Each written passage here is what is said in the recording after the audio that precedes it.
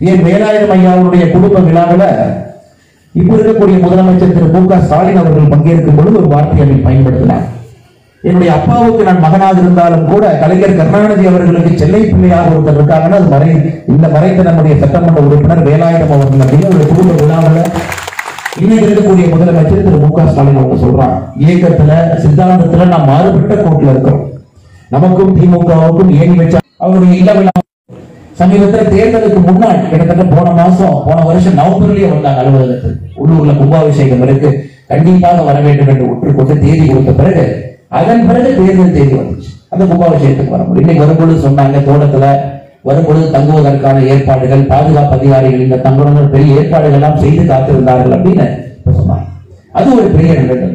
அதையெல்லாம் தாண்டி வேலாயுதம் ஐயா அவர்கள் இறந்த அன்னைக்கு நாங்கள் எல்லோருமே ஆந்திர பிரதேச தேர்தல் பண்ணிட்டு இருந்தோம். நான் வந்து கட்சியினுடைய அலுவலக பொறுப்பு கொடுத்திருந்தாங்க. அலுவலகத்தை விட்டு வெளியே செல்லக்கூடாது என்கின்ற உத்தரவாதத்தோடு இன்னைக்கு அமர்த்தியிருந்தார்கள் இந்த லோக்சபா எலெக்ஷன் ஐயா இறந்த செய்தி கேட்டவுடன் நம்முடைய அமைப்பு பொதுச் செயலர் சந்தோஷ் உங்களுக்கு தொலைபேசி மூலமாக அழைத்து உடனடியாக நான் செல்லணும். அப்படின்னு கிளம்பு அப்படின்னாங்க. ஒரே ஒரு விமானம் இருக்கு ஹைதராபாத்ல இருந்து திருவனந்தபுரத்திற்கு கிளம்பி செல்வதற்கு முன்பு விமான நிலையத்திற்கும் சென்று அந்த விமானம் கிளம்பிடுச்சு. அதுக்கப்புறம் அவருடைய மகனுக்கும் ஐயா நான் ஹைதராபாத்ல இருக்கேன். விமானம் ஒரே விமானம் கிளம்பிடுச்சு. நான் ரோடு மார்க்கமாக மாறி மாறி வந்தேன் அப்படின்னா சாயந்தரம் ஆயிரும். என்னால் வந்து ஐயாவுடைய திருவுருளை பார்க்க முடியாதால் நீங்கள் மன்னித்துக் கொள்ள வேண்டும். அது பெரிய ஒரு நிறுவனம். இரண்டாவது நம்முடைய அலுவலகத்துல ஆர்எஸ்எஸ் உடைய பேரியக்கத்தினுடைய தலைவர்கள் எல்லாம் சேர்ந்து ஒரு தேதி குறித்து ஐயாவுடைய மரியாதை அங்கே செய்ய வேண்டும் என்று குறித்திருந்தோம். தேதியெல்லாம் குறித்து எல்லாம் ரெடியாகி குடும்பம் எல்லாம் வந்த பிறகு அகில இந்திய நம்முடைய கட்சி தலைவர்கள் என்னை அவசரமாக கர்நாடகாவுக்கு சென்று பெங்களூரில் ஒரு நிகழ்ச்சியை பங்கெடுக்க வேண்டும் என்று சொன்னார் அது பெரிய நிகழ்வோடு தான் இந்த நிகழ்வுக்கு நான் வந்திருந்தேன். இன்னைக்கு ஒரு பெரிய நான் யோசிச்சுட்டே இருந்தேன் என்ன நடந்தாலும் இன்னைக்கு போயிடணும் நேரமே கிளம்பி போயிடணும் எந்த பிரச்சனையாக இருந்தாலும் நம்ம போயிடணும். ஏதோ ஒரு காரணத்துக்காக இரண்டு முறை நான் முயற்சித்தும் கூட ஐயாவோட இடத்துக்கு நம்மால் வர முடியவில்லை என்றால் இன்னைக்கு என்னுடைய கடனை கடனை நான் செய்வதாக என்று நான் பார்க்கிறேன். இந்த இடத்திற்கு வந்து நம்முடைய தலைவர்களோடு இணைந்து அவருடைய திருவுருவச் சிலையை திறந்து வைப்பதன் மூலமாக எங்களுடைய பணியை நாங்கள் செய்திருக்கின்றோம். அதே நேரத்தில் அந்த பணி இன்னும் முழுமையாக நாங்கள் செய்யவில்லை. இந்த கட்சியை இன்னும் வளர்க்க வேண்டும். இந்த கட்சியை ஆட்சிக்கு கொண்டு வர வேண்டும். அது வேலாயுதம் ஐயாவுடைய நினைவு எப்பொழுதும் நம்மோடு இருந்து நம்மை பாதுகாக்கும் என்கின்ற முழு நம்பிக்கை எனக்கு இருக்கும்.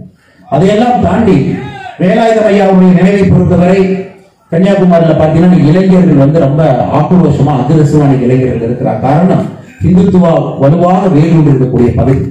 இன்னைக்கு மேடையில் இருக்கும்போது வேலாயுதம் ஐயா மேடைக்கு வருவான் அந்த தள்ளுமுள்ள தான் வேலாயுதம் ஐயா மேடைக்கு கடந்த ஒரு இரண்டு மூன்று நிகழ்ச்சி நான் பார்ப்போம் ஒரு பக்கம் சந்தோஷம் நம்முடைய கட்சி வேகமா வளருது. கட்டுக்கடங்காத கூட்டம் எல்லா பக்கம் இருக்கு. இளைஞர்கள் பெரிய அளவுல பெண்கள் வர்றாங்க அதை வேலாயுதம் ஐயாவும் பார்த்து ரசிச்சுட்டு தான் வருவாங்க. நாங்க மேலே இருந்து பதறுவோம். ஐயாவை எந்த பாதுகாப்போடு மேல மேலே கூட்டிட்டு வரணும். நான் அவருக்கு ரொம்ப ரசிப்பார் அவர். குறிப்பாக அவருடைய சொந்த மண்ணுல கட்சியுடைய ஆக்ரோஷமான வளர்ச்சி இதையெல்லாம் பார்க்கும் பொழுது ரசிச்சு தள்ளாடி அந்த கூட்டத்துல கிட்டத்தட்ட பிரிஞ்சுதான் வேலாயுதம் ஐயா மேடைக்கு வருவாங்க. எனக்கு ஒரு கடந்த ஒரு மூன்று நிகழ்ச்சிகள் கன்னியாகுமரியில அது பசுமையாக என்னுடைய கண்ணிலே ஞாபகம் இருக்கிறது. அதையெல்லாம் தாண்டி ஏற்கனவே சொன்னது போல காந்தி ஐயாவாக இருக்கட்டும் வேலாயுதம் ஐயாவாக இருக்கட்டும் இவரெல்லாம் தமிழகத்தினுடைய அரசியல் ஒரு வித்தியாசமான அரசியல்வாதிகள். ஒவ்வொரு மறுபடியும் யாரும் வருவதற்கு வாய்ப்பு இல்லை. முழுவதுமாக இயக்கத்திற்காக தன்னை அர்ப்பணித்துக் கொண்டு முழுவதுமாக தேசியத்திற்காக ஆன்மீகத்திற்காக தன்னை அர்ப்பணித்துக் கொண்டு குறிப்பாக நாம் இருக்கக்கூடிய மண் எமர்ஜென்சி காலகட்டத்தில் ஒரு கோட்டையாக இருந்த மண் ஆர்எஸ்எஸ் இயக்கத்தை எல்லாம் பாதுகாத்த சொந்த மண். இந்த மண்ணுல இந்த ஊர்ல உள்ளே வந்தாலும் கூட காவி கொடியை பார்த்துவிட்டு தான் இந்த ஊருக்குள்ள வர முடியும். அப்படிப்பட்ட பெருமை இந்த மண்ணுக்கு இருக்கு. அந்த மண்ணில் இன்னைக்கு வேலாயுதம் ஐயா அவருடைய சிலைக்கு ஒரு பெருமையாக ஒரு திறப்பு விழா நாம் நடத்தி இருக்கின்றோம் அதனால என்னுடைய அன்பான வேண்டுகோள் இந்த சிலைக்கு எப்போ உயிர் வருனாங்க தினமும் வந்து நாம் பார்த்து இதை பூஜித்து நம்முடைய மரியாதை செலுத்தும் பொழுது தொடர்ந்து இந்த சிலைக்கு எப்பொழுதும் உயிர் இருக்கும். இன்னைக்கு உயிர் வந்திருக்கிறது ஏன்னா நாம் எல்லாரும் வந்திருக்கின்றோம். அதனால் என்னுடைய அன்பான வேண்டுகோள் அப்பப்போ நாம் இங்கே வரும்பொழுது வேலாயுதம் ஐயாவை பார்க்க வேண்டும் என்று நினைப்பவர்கள் இங்கே வந்து ஐயாவுடைய சிலையை பார்த்துவிட்டு சென்றால் இந்த பகுதி இன்னும் அந்த வைப்ரேஷனோடு இன்னும் அது குதூகலத்தோட அது இருக்கும். இன்னைக்கு நம்ம சிலையை திறந்து வச்சுட்டோம். வேலாயுதம் ஐயாவுடைய குடும்ப வாரிசுகள் எல்லோருமே. இன்னைக்கு அவங்க முன்னேற அரசியல யாருமே கிடையாது. அவர்கள் எல்லோரும் தனிப்பட்ட முறையில தங்களுடைய வேலையை செய்து கொண்டிருக்கின்றார்கள். குறிப்பாக அவருடைய தம்பியாக இருக்கக்கூடிய சுரேஷ் அவர்களாக இருக்கட்டும் மகனாக இருக்கக்கூடிய ராம் பகவத்தாக இருக்கட்டும் அவருடைய மகள்களாக இருக்கக்கூடிய நிவேதிதாவாக இருக்கட்டும் சிவநந்தினியாக இருக்கட்டும் எல்லோரும் இன்னைக்கு முழுநேர அரசியல்வாதிகள் கிடையாது. தனக்கென்று ஒரு குடும்பம் சமுதாயத்துல பணியை செய்யறாங்க. அதனால் வேலாயுதம் ஐயா இல்லை. நாம் இந்த இல்லத்திற்கு வரக்கூடாது அப்படிங்கிற முடிவை நாம யாரும் எடுக்கக்கூடாது. தொடர்ந்து இங்கே வந்தால் மட்டும்தான் இந்த சிலைக்கு எப்பொழுதுமே உயிர் இருக்கும். வேலாயுதம் ஐயாவுடைய ஆன்மா எப்பொழுதுமே இருக்கும். அதனால இங்க இருக்கக்கூடிய எல்லா அன்பு சொந்தங்கள் குறிப்பாக குமரியில் இருக்கக்கூடிய பாரதிய ஜனதா கட்சியுடைய அன்பு சொந்தங்கள் நாம் வந்து வந்து செல்ல வேண்டும். இது நம்முடைய இல்லம். நாம் வந்து வந்து செல்லும் பொழுது மட்டும்தான் இந்த மண்ணில் இருக்கக்கூடிய தன்மை நமக்கு இன்னும் ஒரு உற்சாகத்தை கொடுக்கும் என்று அன்பான வேண்டுகோளை வைத்து அவர் சட்டமன்ற உறுப்பினராக ஐந்து ஆண்டுகள் பணியாற்றியதை இந்த நேரத்தில் நான் நினைவு கூற விரும்புகிறேன். காரணம் இளைஞர்களுக்கு அது தெரிய வேண்டும் என்பதற்காக. அவர் சட்டமன்ற உறுப்பினராக இருக்கும் பொழுது கன்னியாகுமரியினுடைய வளர்ச்சிக்காக பெரிய குரல் கொடுத்தவர். இன்னைக்கு ஆசாரி பள்ளத்துல மருத்துவக் கல்லூரி இருக்குன்னா அது முதன் முதலாக யார் குரல் கொடுத்தாங்க நீங்க சரித்திரத்தை எடுத்து பார்த்தீங்கன்னா வேலாயுதம் ஐயா தான் முதன் முதலாக குரல் கொடுத்தார் அவருடைய காலகட்டத்தில் தான் இங்க இருக்கக்கூடிய இளைஞர்கள் எல்லாம் ஒரு மருத்துவம் மருத்துவம் படிக்கிற கல்லூரி வந்துருச்சுங்க இப்ப வந்துருச்சு. அன்னைக்கு ஒரு பொறியியல் படிக்கிற கூட கன்னியாகுமரி கூட கல்லூரி இல்லை. அவர்கள் எல்லாம் வெளியே செல்ல ஆரம்பித்த பொழுது குமரிக்கு முதன் முதலாக மரு மருத்துவக் கல்லூரிக்கு அவர் குரல் கொடுத்தார். இவருடைய காலகட்டத்துல பொறியியல் கல்லூரியை கொண்டு வந்தாங்க மூன்று பொறியியல் கல்லூரியை கொண்டு வந்தாங்கன்னா அதுவும் வேலாயுதம் ஐயாவுடைய காலகட்டத்துல அதுவும் நடந்தது. காரணம் இளைஞர்கள் இங்கேயே படிக்க முடியும் என்கிற நம்பிக்கை. அதெல்லாம் தாண்டி உங்களுக்கு தெரியும் அன்னைக்கு சாலை பணியாளர்கள் இருப்பாங்க. இந்த ரோட்ல அந்த பஞ்சர்லாம் ஆயிடுச்சு ரோட்ல டேமேஜ் ஆயிடுச்சு அப்படின்னா அதை அப்பப்ப செப்பனிடுவதற்கு சரி பண்ணுவதற்கு. அது வந்து குறிப்பாக ஒரு முதலமைச்சர் வந்த பொழுது அது முழுதாக அந்த பணியாளர்களை எடுத்துட்டாங்க. அதே வேலாயுதம் ஐயா சட்டமன்றத்துல தன்னுடைய பேச்சின் மூலமா அது இன்னைக்கு எல்லாம் சொல்றாங்க நம்முடைய தலைவர்கள் நகைச்சுவையாக எப்படி நம்ம ஒரு சைக்கிள் வச்சிருந்தா கூட அந்த டியூபுக்கு அப்பப்போ பஞ்சர் போடணுமோ அதுக்காக பஞ்சர் கடையே இல்லாம இருந்தா எப்படி சைக்கிள் ஓட்டுறது? இன்னைக்கு முதலமைச்சர் அவர்களே இதற்கு முன்பு நீங்க எல்லாத்தையும் நீக்கிட்டீங்க. இன்னைக்கு ரோட்லயே அதே மாதிரி பஞ்சர் ஆகும் பொழுது அங்கே ஆட்கள் இருந்தால் தானே சரி பண்ண முடியும் என்று இவருடைய பேச்சுக்காக தமிழகம் முழுவதுமே மறுபடியும் ஐந்தாயிரம் சாலை பணியாளர்கள் மறுபடியும் பணிக்கு வந்தாங்க. அதுவும் வேலாயுதம் ஐயாவுடைய சாதனை இந்த மாதிரி சத்தமே இல்லாம பல விஷயங்கள் பேசியிருக்கிறாங்க. ஆர்டிஓ அலுவலகத்தை மார்த்தாண்டத்துல புதிதாக இவருடைய காலத்துல திறந்து வைப்பதிலிருந்து குமரையினுடைய வளர்ச்சிக்காக தொடர்ந்து பேசிய ஒரு மாமனிதர்.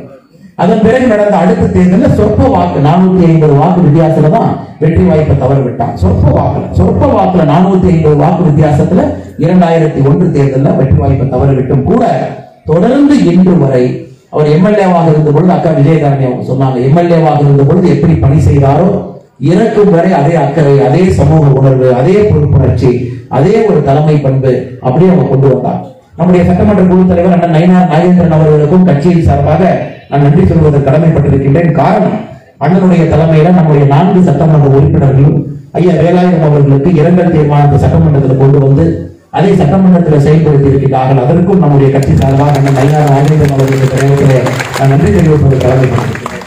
அதனால் இன்னைக்கு மாநில தலைவராக வேலாயுதம் ஐயா நம்முடைய முதல் எம்எல்ஏ என்கின்ற ஒரு முறையில இந்த இதை நான் அறிவிப்பதிலே பெருமை அடைகின்றேன்.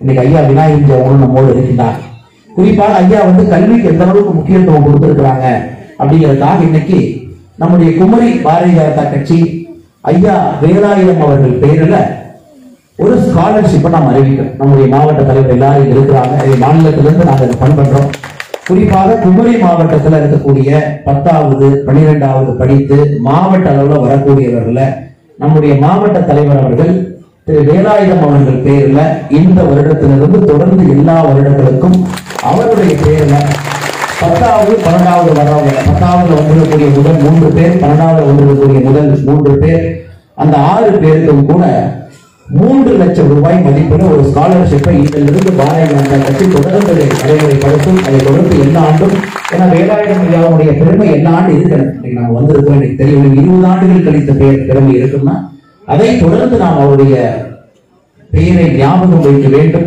அவருடைய சாதனைகளை ஞாபகம் வைக்க வேண்டும். குறிப்பாக இளைஞர் மத்தியில வேலாயுதம் ஐயாவை போன்ற சான்றோர்கள் ஆண்டோர்கள் நல்லவர்கள் வாழ்ந்தார்கள் என்கிற பெருமையை கொண்டு போகணும். அதை நம்முடைய மாவட்ட தலைவர் கன்னியாகுமரியில் இருக்கக்கூடிய தலைவர்கள் அதை முடிவு செய்வார்கள். ஒரு ஒரு ஆண்டு மூன்று லட்சம் ரூபாய் பெருமானமான ஸ்காலர்ஷிப்பை படிக்கக்கூடிய குழந்தைகளுக்கு பாரதிய ஜனதா கட்சி வேலாயுதம் ஐயாவுடைய பேரில் அவங்களுடைய குடும்பத்தையும் சேர்த்து நம்ம வைத்துக் கொண்டு கட்சியை என்கின்ற மொழியில் இங்க இருக்கக்கூடிய எல்லா அன்பு சொந்தங்கள் முன்னால் தெரிவிப்பதை நான் பெருமை அடைகின்றேன். அதே போன்ற இந்த நிகழ்ச்சியில் வந்திருக்கிற எல்லோருக்கும் கடுமையான வெயில் எதையும் பொருட்படுத்தாமல் நேற்று நல்ல பலத்த காற்று மலை கன்னியாகுமரியில எதையும் பொருட்படுத்தாம எல்லோரும் அங்கங்க சேர் இருக்கிறவங்க சேர்ல தரையில இருக்கிறவங்க தரையில நிக்கிறவங்க நிக்கிறீங்க நிக்கிற இடத்துல யாரும் எந்த வசதியும் எதையும் எதிர்பார்க்காம நீங்க வந்திருக்கிறீங்க அப்படின்னா வேலாயுதம் ஐயாவை நீங்கள் பெருமைப்படுத்தி இருக்கிறீர்கள் அதுதான். எந்த அவருடைய சொந்த விவசாயம் தோட்டம் அவருடைய சொந்த இடத்துல. இதை விட பெருமை நாம் வேலாயுதம் ஐயாவுக்கு நாம் செலுத்த முடியாது. அவருடைய மனைவின் பொழுது நம்முடைய பாரத பிரதமர் நரேந்திர மோடி ஐயா தன்னுடைய முகநூல் பக்கத்துல பதிவு செய்திருந்தார். வேலாயுதம் அவர்கள் பாரதிய ஜனதா கட்சியினுடைய வளர்ச்சிக்கு வித்திட்டவர். அடித்தட்டு மக்களுடைய உரிமைக்காக பாராடு பாடுபட்டவர். குமரியினுடைய வளர்ச்சிக்காக பாடுபட்ட ஒரு மனிதனை இன்று பாரதிய ஜனதா கட்சி இறந்து இறந்து வருந்துகிறது என்று நம்முடைய பாரத பிரதமர் நரேந்திர மோடி ஐயாவுடைய முகநூல் பதிவு நம்முடைய தேசிய தலைவர் திரு ஜே பி நட்டா அவர்களும் தன்னுடைய இரங்கல் செய்தி அனுப்பியிருந்தாங்க அந்த இரங்கல் செய்தியிலும் ஜே பி நட்டா அவர்கள் குறிப்பிட்டிருந்தார்கள். குறிப்பாக தமிழகத்தினுடைய தென்பகுதியினுடைய முதல் எம்எல்ஏவாக இருந்தாங்க. அது மட்டும் இல்லாம ஒரு எளிமையான மனிதர் தன்னுடைய எளிமையால் எல்லோரையும் கவர்ந்தவர். மூத்த தலைவர்கள்ட்ட ரொம்ப நட்பு பாராட்டியவர் அது முரளி மனோகர் ஜோஷி ஐயாவாக இருக்கட்டும் எல் கே அத்வானி ஐயாவாக இருக்கட்டும் அடல் பிஹாரி வாஜ்பேயி ஐயாவாக இருக்கட்டும் அன்பு பாராட்டிய ஒரு மனிதர். இன்று பாரதிய ஜனதா கட்சியில் இல்லை அவரை இழந்து நாங்கள் வருந்துகின்றோம் என்று நம்முடைய அகில இந்திய தலைவர் ஜே பி நட்டா அவர்கள் குறுஞ்செய்தி அளித்திருந்தார்கள் அதையும் இந்த மன்றத்தில் உங்கள் முன்னால் நினைவுபடுத்துவதில் ஞாபகப்படுத்துவதில் என்னுடைய கடமையாக நான் நினைக்கின்றேன் மறுபடியும் இந்த மாவட்டத்தினுடைய தலைவர் அண்ணன் தர்மராஜ் அவர்களுக்கும் குறிப்பாக அவருடைய குடும்பத்தினை சார்ந்த அனைவருக்கும் இந்த நேரத்தில் பாரதிய ஜனதா கட்சி சார்பாக எங்களுடைய நன்றியை தெரிவித்துக் கொள்கின்றோம். காரணம் மிக வேகமாக ஐயாவுக்கு இந்த திருவுருவச் சிலையை அமைத்து அவருடைய நினைவுகள் எப்பொழுதும் நம்மோடு இருக்கும் அளவுக்கு இந்த பெருமையை சேர்த்து அதை திறப்பதற்காக எங்களை எல்லாம் அழைத்து பெருமை சேர்த்திருக்கின்றீர்கள் குடும்பத்தில் இருக்கக்கூடிய எல்லா அவருடைய மகனுக்கும் இரண்டு மகளுக்கும் அவருடைய குடும்பத்தை சார்ந்த எல்லோருக்கும் இந்த நேரத்தில் பாரதிநாத கட்சி சார்பாக நன்றி தெரிவித்து உரையை முடித்துக் கொள்கிறேன் நன்றி வணக்கம்.